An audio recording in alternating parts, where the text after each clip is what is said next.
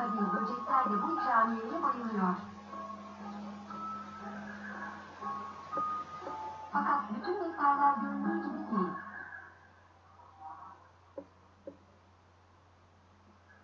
Bundalık zeminde zeki bir etobur yetişir.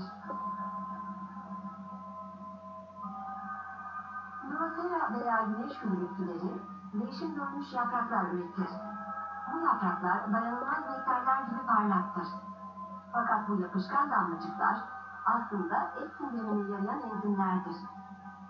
Ve maalesef böcekler bu ziyafet gibi görünen şeye aldanıp kendilerini çabucak yapışkan bir, yapışkan bir olayın için